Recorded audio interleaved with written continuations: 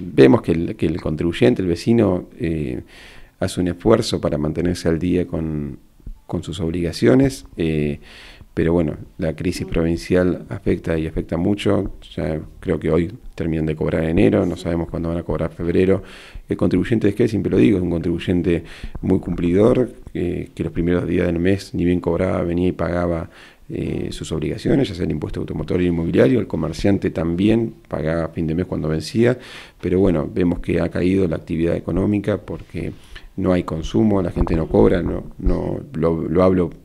particularmente hoy tengo que juntarme con, un grupo de comerciantes y seguramente el planteo va a ser esos, que, no, no, hay venta, que ha bajado mucho y lo sé. Em,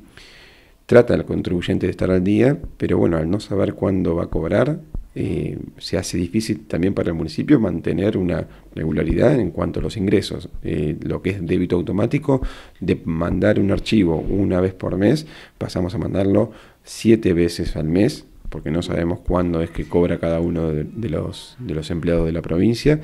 Eh, y con la particularidad también que en esta semana la coparticipación federal y regalías petroleras no fueron transferidas a los municipios, no solamente es que todos los demás municipios, eh, cosa que no ha sucedido en meses anteriores, se atrasaban, pero unos días, no tanto como esta semana,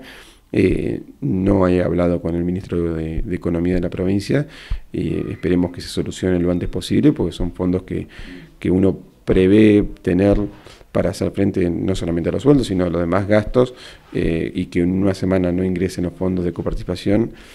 No solamente coparticipación, también tenemos eh, los kits escolares, la ayuda por kits escolares no, ingres, no ingresado, tampoco ha ingresado el, lo del plan calor, que fue una promesa. Ya se ha comprado eh, la leña, ya hemos tomado la previsión de, comprar eh, la totalidad de la leña solicitada por la gente del área social, eh, pero bueno, no son muchos los fondos, son 390 mil pesos, me parece lo de Plan Calor, la inversión es mucho mayor, pero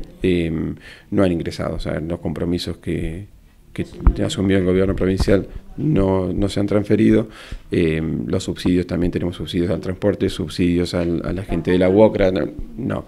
eh, en algunos casos hacemos frente con fondos municipales, pero bueno, eh, queremos creer que en el corto plazo se solucionará si no va a terminar afectando las arcas del municipio y es lo que no queremos. Matías, te pregunto, bueno, porque por ahí veíamos mucha gente afuera en la vereda esperando para ser atendido en el municipio, cuando hay mucha cantidad de, contribuyentes, de gente que viene a las oficinas, ¿han tomado esa modalidad? Sí, en el caso de carnet de conducir, así es, porque es muy chico el, lugar y había mucha gente esperando para hacer el trámite, entonces tomaron la decisión de, que esperen en, en la calle. Eh, porque tenían turno para hoy y creo que eran más de 30 personas que estaban dentro de un lugar casi hacinados porque es muy chico las, son muy chicas las oficinas. ¿Se han tomado las precauciones con los empleados? Sí, sí, se han hablado, se han comprado alcohol en gel que está, por llegar. Em, barbijos no, no, no fue un pedido, pero, pero sí, todas las precauciones para que, para que los empleados trabajen de la mejor manera y tranquilos de que no, no va a suceder nada.